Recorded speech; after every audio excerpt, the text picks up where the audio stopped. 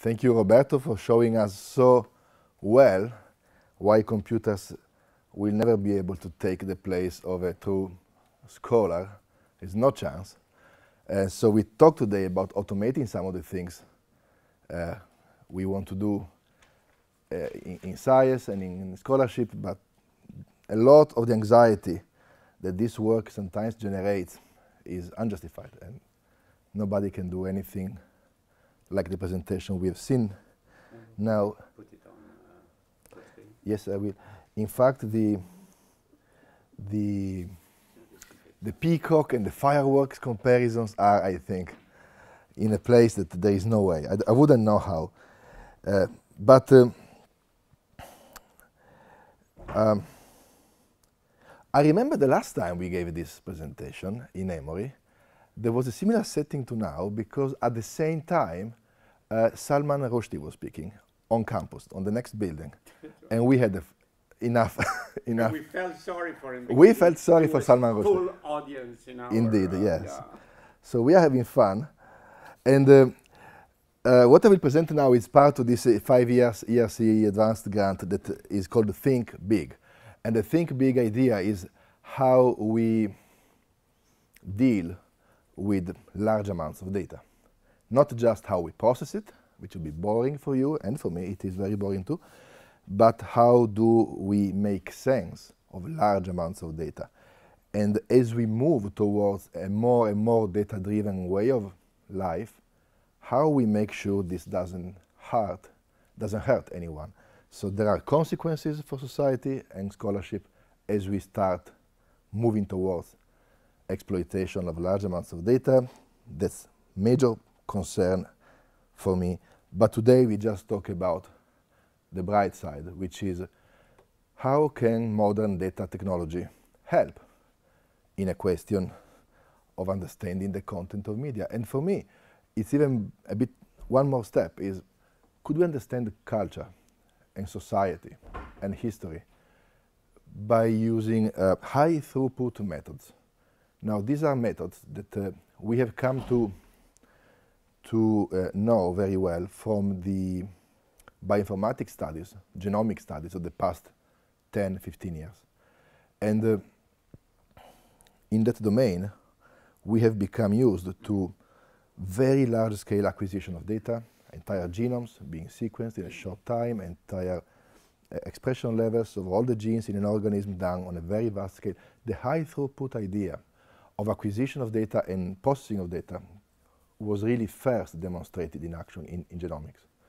So it is not surprising that five years ago somebody attempted to use the same ideas on, on the text uh, and the content of books and they called it culturomics. This omics um, um, suffix has been seen in biology a lot, proteomics and genomics and uh, uh, transcriptomics. Th there is so much there. It is being abused. Of course, it's out of fashion now. Uh, and it's surprising that paper because they talk about omics and high throughput, which is what today people would call big data, another big buzzword that is just waiting to be to become out of fashion tomorrow. And, uh, and, and so forget buzzwords and just think about the notion. We can today acquire vast amounts of data and we can ask interesting questions to it. Something that Roberto has shown us well. So the five W's. Who is doing what? Where and when? Can we get this information out of text? Of course we can. We can read. Can a machine do it? Yes, machines can do it very well. Um, how can we use this? Well, how about reading every single newspaper article written today in the world? Why not? There used to be a time in which people were studying mass observation in the UK. That was the idea of monitoring everything that has been done and said on a specific day, like 11th of May 1937, mass observation. That was an, uh, one way to do large-scale analysis, right? Um, how about history? How about getting every newspaper ever, ever written, ever printed, and studying that? Why not? So that sort of crazy hubristic approach is really something we have come to enjoy in, in biology. You know, why not taking every genome of every species ever existed, including extinct ones? Why not? So that kind of approach, I think, is is interesting. And uh, uh, many questions in, in, in, uh, in history and culture and society can, can, be, can be addressed starting from this perspective, as Roberto has shown. But keep in mind, text is only one thing. Uh, there was a paper two weeks ago studying uh, popular music over 50 years, actually starting from the files of the songs. And that was very exhaustive. It was pretty much every song in the top 100 in every year for 50 years. Fully automated study. I mean, analysis, then there are interpretation levels, but the study was very automated, of course. You cannot do it by hand. Speech, you can plug it, your software into the radio and listen to the radio full time, constantly analyze the content. Music, images. In fact, I will show you some images too. So this doesn't mean that uh, we try to get machines to take the job of good scholars, but we want these people to not be wasting their time with filling forms and coding, coding papers when they can actually think bigger and bigger ideas. So, test bed. How do we try these ideas, these concepts? Well, we started doing this 10 years ago, so well before the paper on science. Uh, we thought a good test bed is newspapers, just because they are neat, organized, still free text, but professionally written, easy to obtain. So we started from newspapers. The ideas actually transferred to everything. We built a, a software infrastructure to collect the content of news every day, actually every hour now, from um, about a thousand newspapers. Uh, we are also analyzing the contents of Twitter, and uh, we are going to see some. We have moved now to the analysis of images, and we'll see something about the images as well. Um, you know, questions are so many. How does the media system work? Where do the ideas come from? Who starts a new fad, a new fashion, a new buzzword? Which way they travel? You can start asking questions, you know. And if you collect the public opinion, then social media, how is public opinion affected by media content? So we, we will try to answer some of them. Here is uh, the Roberto Franzosi moment of this presentation. Um, I also like this kind of strategy. I met Roberto in Venice in a, in a meeting organized by a common friend. And uh, the Shannon conference. Shannon conference. Oh, I can see an interesting connection. And then I was talking about uh, information in, in the newspapers, but uh, Roberto was focused on finding subjects and verbs and objects, beginning the five W's from there. Uh, it was because of that meeting, I suppose, that I met uh, Giuseppe in a meeting in London uh, and then uh, in Istanbul. Bec I went to London because of Roberto, and then I went to Istanbul because of that meeting. So things, you know, have a way of happening that you cannot program and you cannot organize a large-scale infrastructure for. You just have to follow these things. So here is the king sees the premier, subject, verb, object. Who does what? Who meets whom? Uh, newspapers are full of these things. Luckily, these are narrative texts. They don't discuss too much abstractions. They really say this person met this person and this person killed this other person. It's very, luckily, it's very simple language in, in most newspapers. Journalists are trained to declare the basic events at the top in a clear, in a clear form. So we try to identify subject and object with the actors of the narrative and the verbs with the action. Of course, there are many subtle things. Sometimes the object is not a person, and then should you call it an, an actor or not? And these are lots of serious things. But for the point of view of this presentation, we just want to get these triplets on a large scale. Another triplet here. So how well can machines today find those triplets? You see Roberto's uh, pictures and animations were based, I suppose, mostly on hand-typed uh, information. Somebody was hand, probably, uh. You know something about it, yeah. they both work on. You, you know how, what it means, right? So, um, well, in part, it's nice to do it. I enjoy when I do some of the tasks by hand, but there is a moment after which it's best if they're done by somebody else. So, but the point is not only because you get tired, you can ask different questions. You can operate on different languages. You can start scaling up in real time, for example. You can get triplets as they are pronounced in a speech. So these things are no longer possible if you don't have computational infrastructures. So here is a study about news content. Uh, we've done a bunch of those since, since, but this is something I want to put because it's fairly large. So this has to do with the, how the contents of the global media system reacted to the Fukushima accident. This is joint work with Giuseppe, I should mention. How did the media react to the Fukushima accident? Well, on the March 11, there was a, an explosion, there was a triple whammer, there was a, a, an earthquake, a tsunami, and then a nuclear meltdown. So three things happened in, in, in, in, a sequence. You can imagine the media reacted, public opinion reacted, a lot of things changed because of that. Uh, and now you could say, I, we really want to understand how this happened, and you just have to get funding and get uh, a way to collect 5 million newspaper articles and convince your collaborators to code 5 million articles. Uh, but uh, Roberto could convince anybody to do anything, so probably they, they would do it. Uh, but we thought, this is just English language. So we first filtered articles from the newspapers in that year, that in those years that were about science. Within that subset, we focused on those um, that uh, discussed nuclear power. Uh, so these are five years and a half, and a bit, yeah. We isolated by machine the science ones, then we started um, coding them, so to speak. Now, this was not specific for nuclear power. Our pipeline software infrastructure was able to identify every topic, every type of uh, science, every type of disease, every academic institution, everything was fully coded in the first pass on 5 million documents. But if you take just nuclear power, you can see how many times just the two words nuclear power are mentioned, just to start with.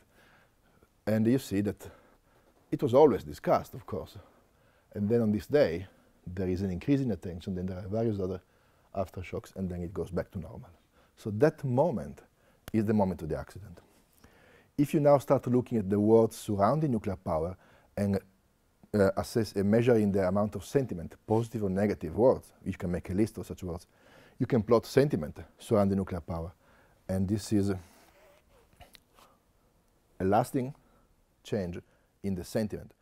the text surrounding nuclear power changes color, changes mood after this day. It doesn't come back, by the way. So there has been a global shift in the way we think about or we talk about nuclear power in the media uh, on that day.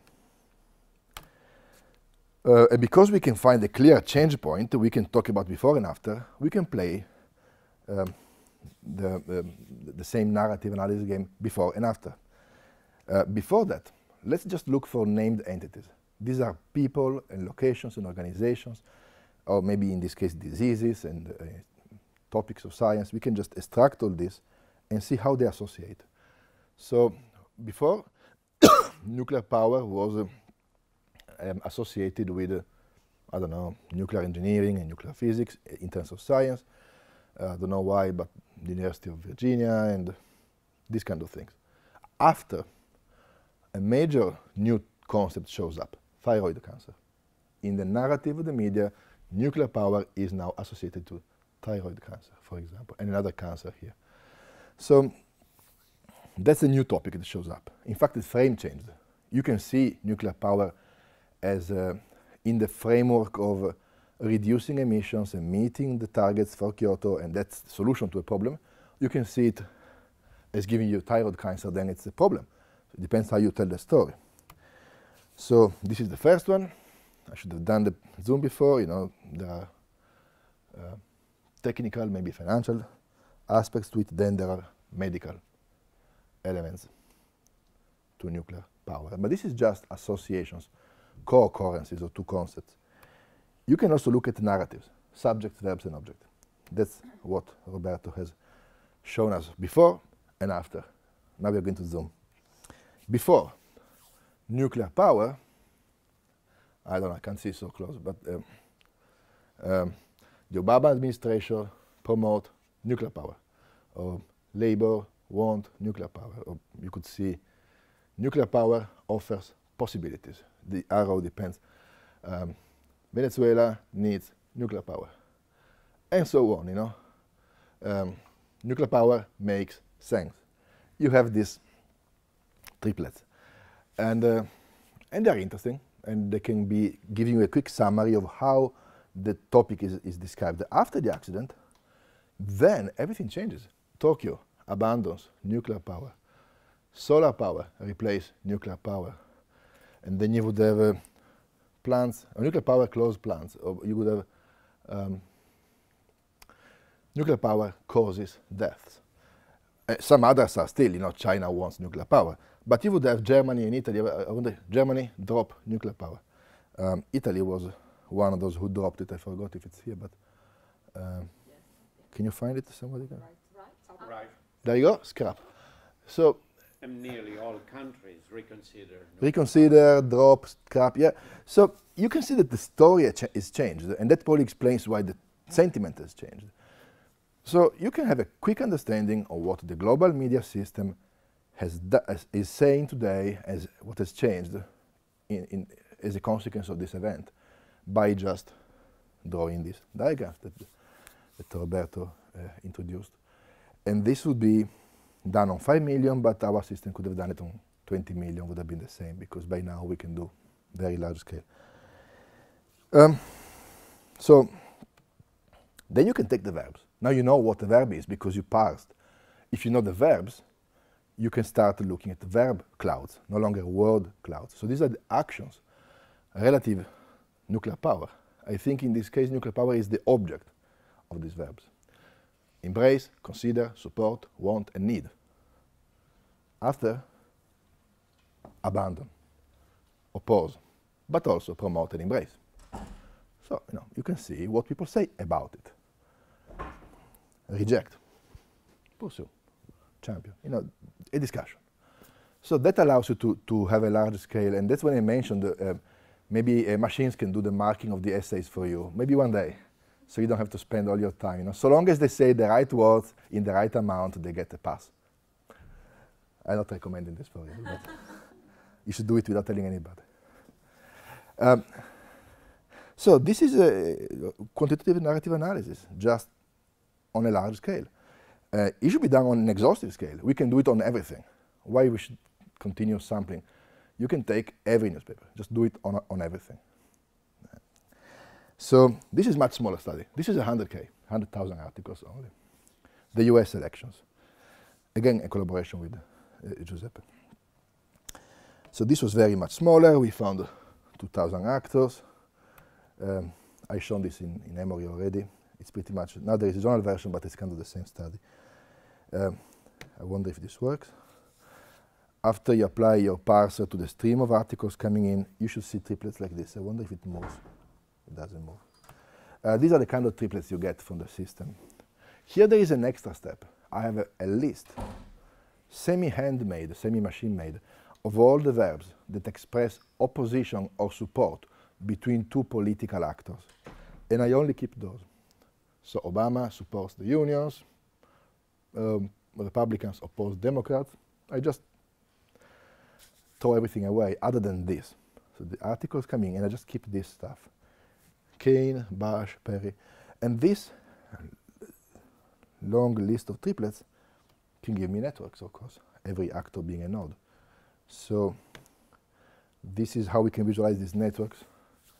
I guess this is my peacock moment, I guess. People say, oh, firework because I don't have another plot like his, but the, the, idea is a lot of people talking about a lot of people, a lot of actors acting and interacting and defining each other, accusing each other, criticizing, supporting.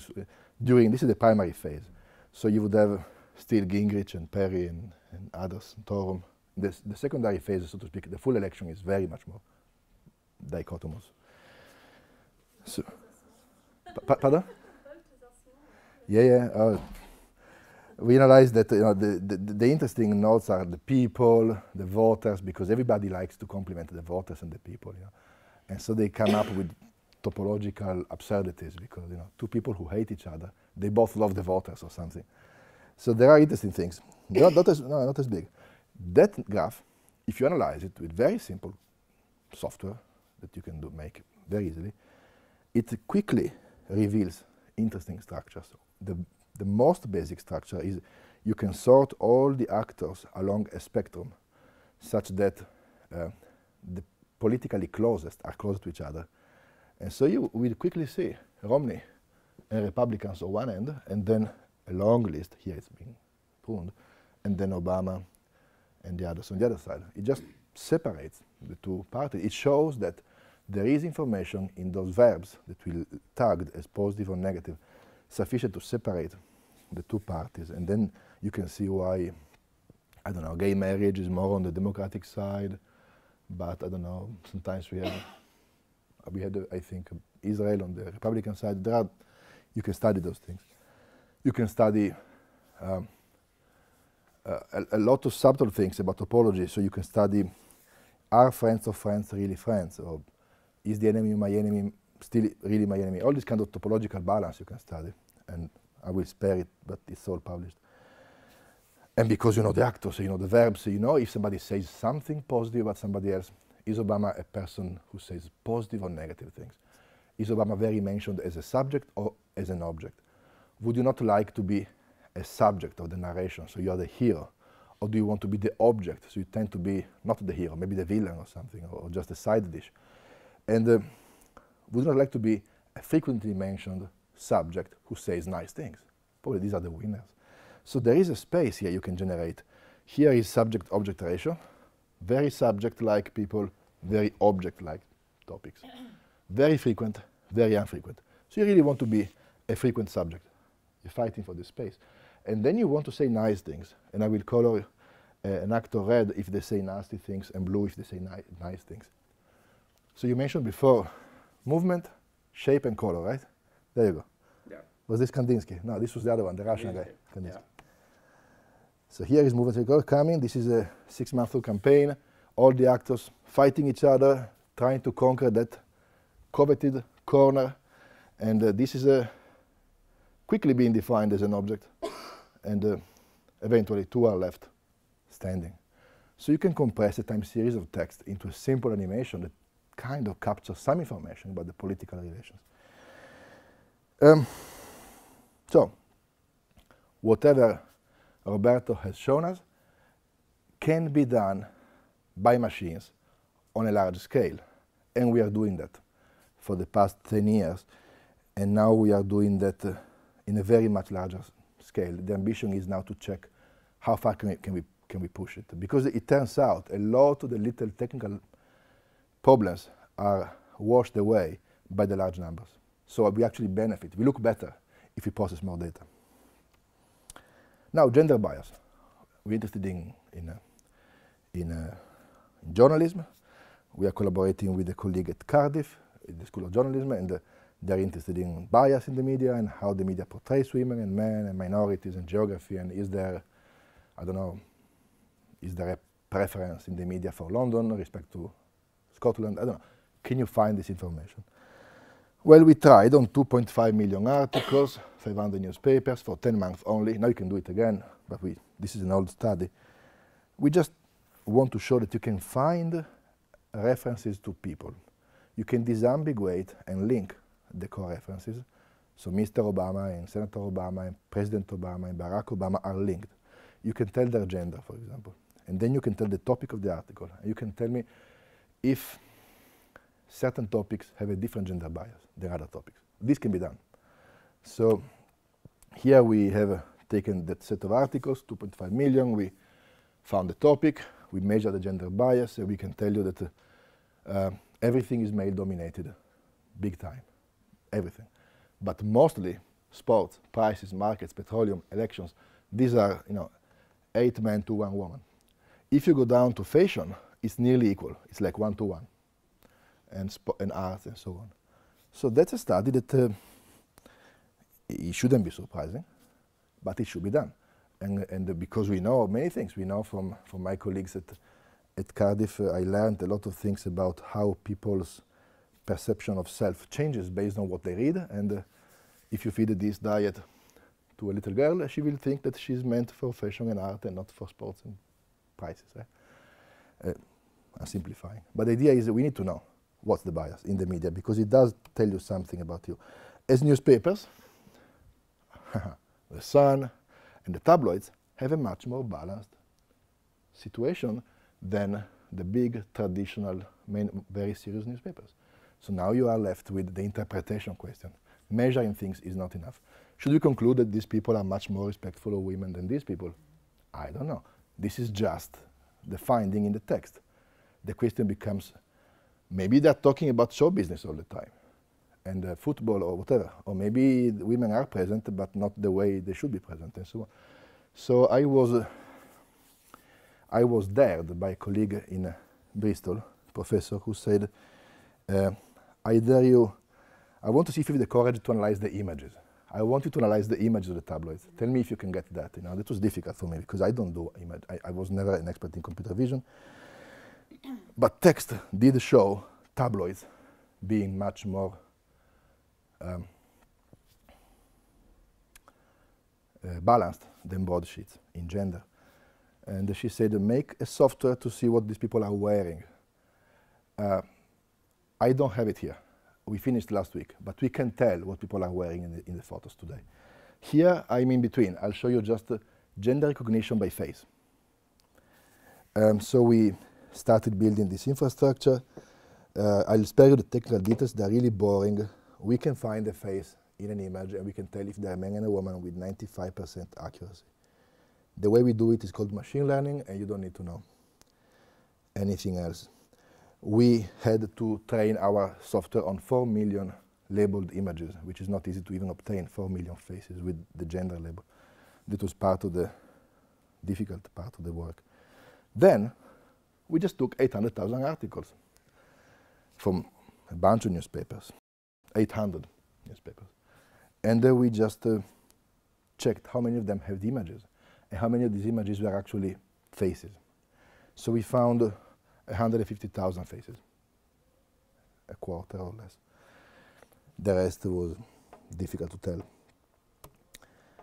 So now we can classify the articles by topic and the photos contained in them by gender of the face portrayed.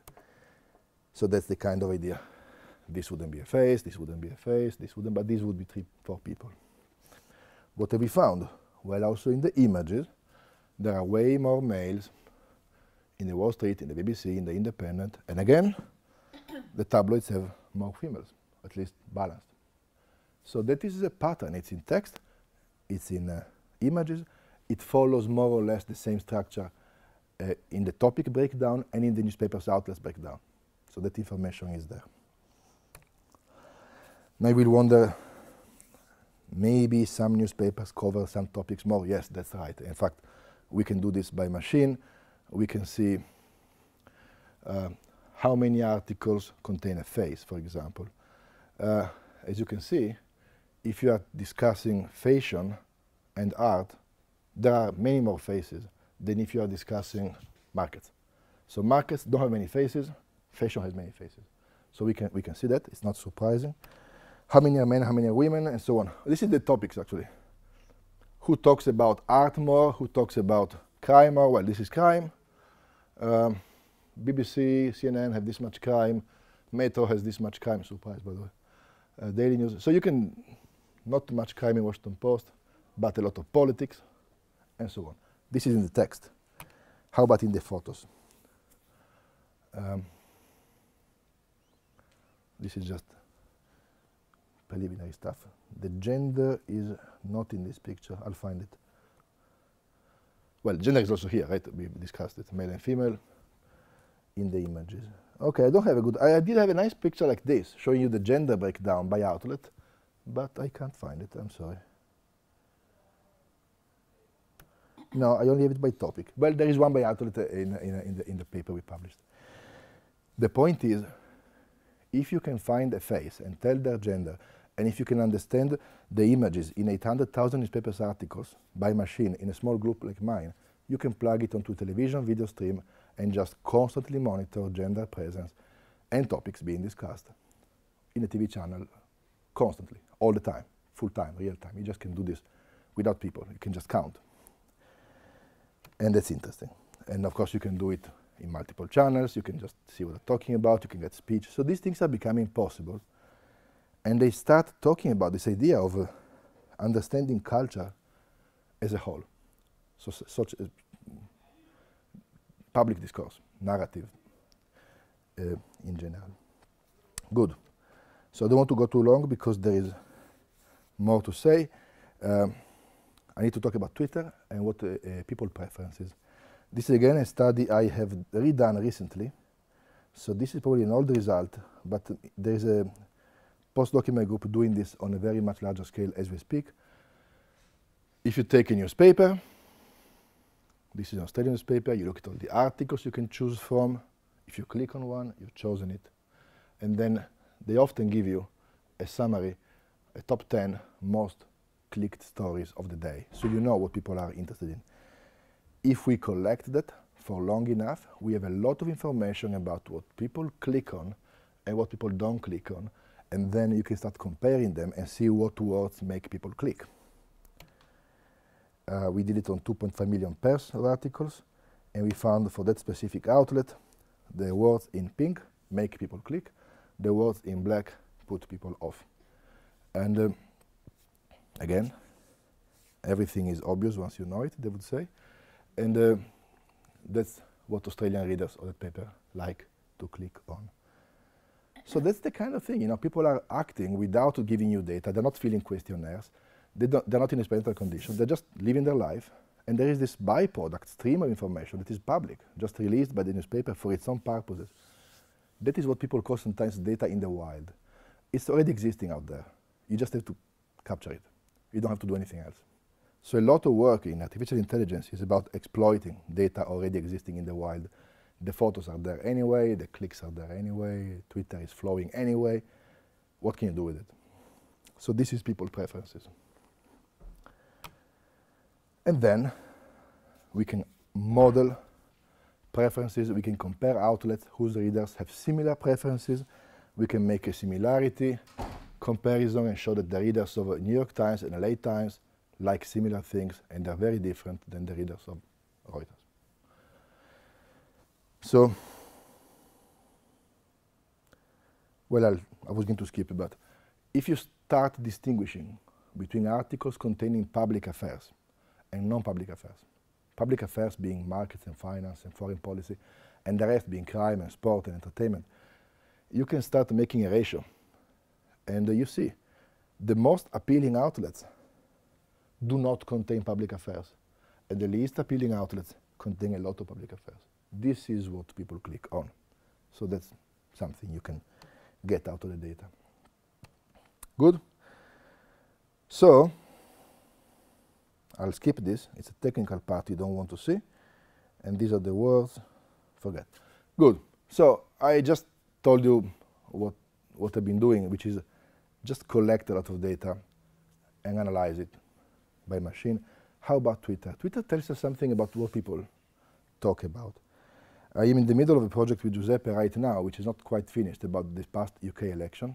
And I don't have anything to show you. So I show you an a much older study. It's embarrassing because Roberto has seen it twice probably by now. So you're, you're allowed to sleep. The new study though is, is exciting. You always keep me awake, Ned. ah, I put the photo there to motivate. Um, ah, thank you. yeah, that's, that's for you, you know.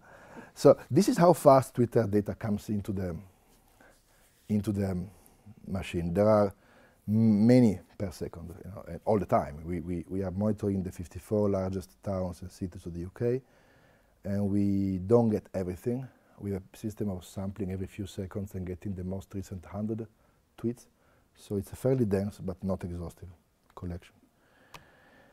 Um, once you have Twitter, you have to start asking, now, what do I do with this data? These are hundreds of millions of messages for a long time. Again, this is old, but my collection pipeline has been going on non-stop for many, many years now, so we have all this enormous amount of data.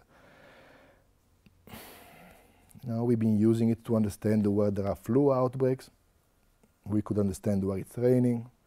We can do a bunch of things like this, but what is exciting is maybe something a bit different, which is uh, how do people feel? Can you make lists of words that are indicating anger or sadness or fear or joy in, in the readers? And the idea is uh, you can be sloppy because you have hundreds of millions of these things. You know, you're just looking for big, gigantic changes and trends.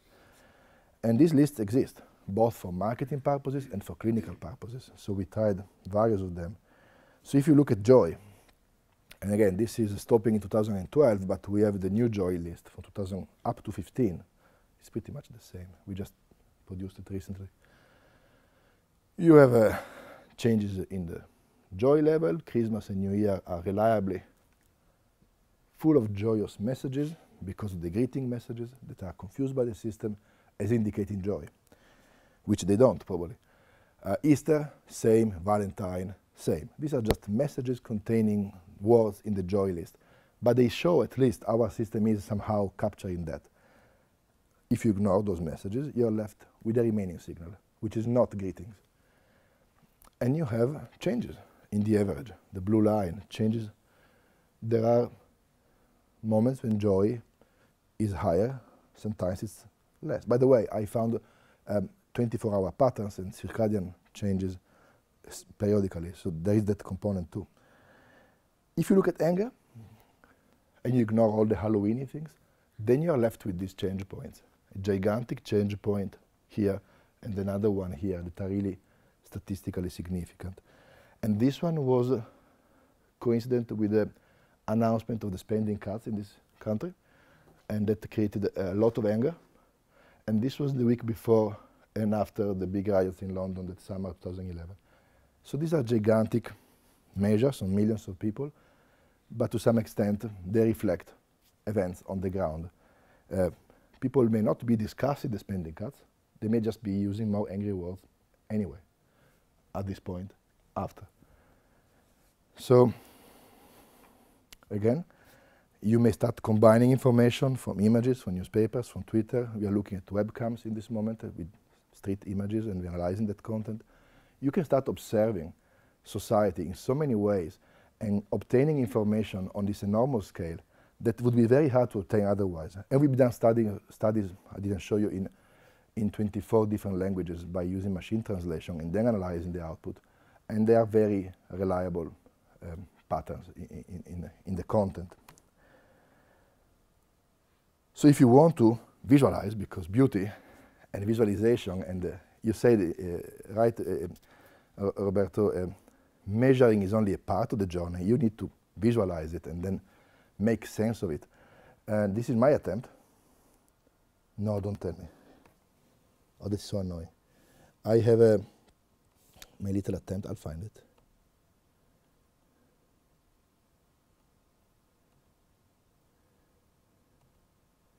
I have various versions of this presentation, so one of these versions will be fine. Um,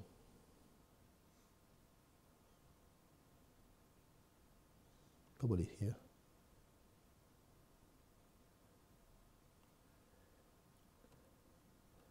So you can animate and visualize the changes in public mood over those four years. Um, I'm moving the, the, the focus here. I'm turning those five numbers, four numbers, into a fake expression, that's the phase you want to wait for here.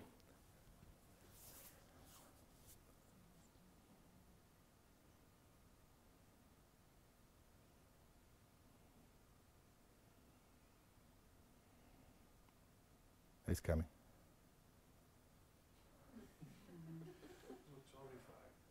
Yeah. And then it goes on to the riots, it will look a little bit angrier hopefully.